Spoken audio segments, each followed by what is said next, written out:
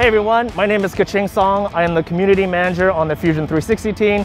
You can see behind me, we're at BattleBots 2021 World Championships.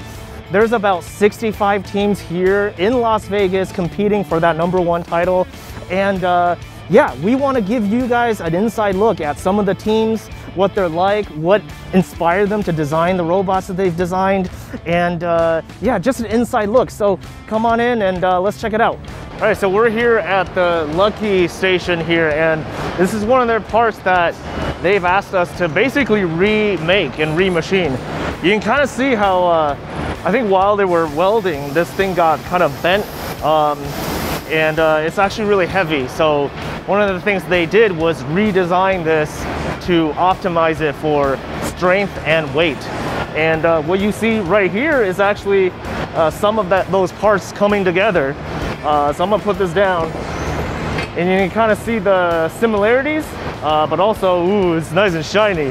Uh, there's some parts like this, they're still not bolted together and what they're gonna do is actually gonna weld it. So they're gonna weld these seams and there's still this top plate that's gonna go on that's in one of our machines getting machined right now. Uh, but uh, yeah, it's coming together. It's looking real good. They're actually fighting right now, so when they come back, we'll, uh, we'll talk to them and uh, we'll get to learn more about this part. All right, cool. Uh, what's your name? Matthew. Bailey. Matthew. I'm Keqing. Nice to meet you. I feel like we're on a cooking show because we're facing this way and we got, got all the parts. we've got all the parts here from from the first iteration all the way to the newest. Uh, walk us through what what this uh, yeah how this come about. So the uh, the first iteration here we did, um, and it is functional. Um, it's missing a few parts in the front. We have a bit of a smaller box in the front end. Um, Oh, okay. And we don't have any support in the back here. And so what we find happens is these ones get, if they get tweaked and knocked in the front, you get this S bend, or you can see in this one that's a little bit messed up. So it's, uh, it's you know, we learned a little bit with this one.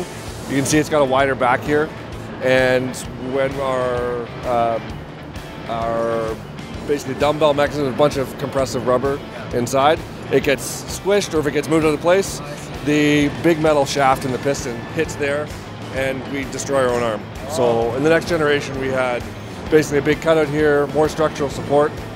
We improved the structure in the front end where we hit people, so that doesn't get deformed so much, and we put a big brace in here to help with strength and so we don't get torqued so much. But uh, still, the whole process is water jet cutting. Ah yeah It's cheap yeah and yeah yeah. fast. So water jet cutting on a manual router. We route all the corners so we can weld everything afterwards, and we can get nice deep penetration. And uh, then we found that we are working with Autodesk and, and Haas Mills here at uh, at BattleBots, and so we got to make an improvement because we ran out of arms in the middle of the show this year. Gotcha. Yeah. Basically now this is uh, more like an assembly. It all, gets assembled. So these are the the jigs in the middle here are for um, welding. So when Oh, you weld and you get too it. much heat, things are going to pull, and so these, these basically hold the spacing so that all the links and everything line up I at the right distance Yeah. when we put it in the arm. Uh, and this is actually almost finished. You can see we're missing a few pieces, but as soon as it gets done, we bolt all the pieces on. They drop into these big uh, cutouts here, Yep. slot and tab cutouts, and then we go and fill all the fillets in, and the uh, chamfers in as well. Well, hey, thanks for uh, explaining and walking us through this. This is awesome to see. It's really cool to kind of see the the iterative process of you know improving a design, uh, and it's all laid out here, which is which is great.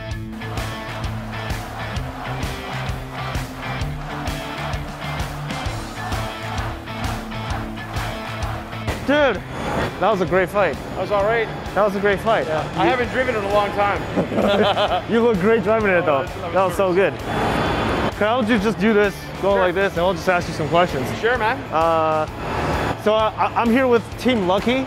yeah. Uh, you guys are pretty lucky this this season, I we Got guess. lucky on that one. One shot and it did uh, got him just in the right spot where he couldn't get off of there. So that was pretty good. That's so cool. So let's take a step back and uh, I, I would love to know more about y- you guys and your story. Uh, what got you guys into robotics and why are you called Lucky? Oh, so we got I I got involved as a fan. I watched it on TV 20 years ago, and I was living in uh, the Bay Area, and uh, I went to watch it on Treasure Island when it was uh, showing on uh, Comedy Central. Watched it back then, season four, and I thought I got to compete in this thing. Put a team together. We competed at season five. and then it went off the air. So we were doing all the sort of the regional events for a long time. But this has been 20 years doing this now. Wow. Yeah. Wow. And uh, why is the team called Lucky? Yeah, so I mean, lucky. I, I, I like the uh, the understated approach, right? So if we win, we can chalk it up to luck, right? Uh, we haven't always had good luck, but uh, today was pretty good. So it's just uh, you know the Canadian persona and, and theme, right? So, Yeah, that's great. I love it. I love it. Hey, let's uh, let's look at your robot. Let's take a look at your robot. So, I think as we as we uh, looked at before, we've made a bunch of parts for you. I think there's still some in. Oh, there's one still getting machined. Yeah. It looks like that that part is essentially this whole assembly here. That's right, yeah. Um, how does this assembly work in relation to the robot? Like, what what is its function? Right. So this is a flipper, and I'll, I'll put it down so you can see the motion, but it, it basically moves up and forward at the same time. So it's a it's a four bar linkage. Oh, you'll oh, oh, okay. Down and so when it goes up, it goes up and forward. And usually with the parts that you have, usually we have like a spatula that goes down to the ground. Okay, yeah. Uh, it's gonna scoop. and that's up here.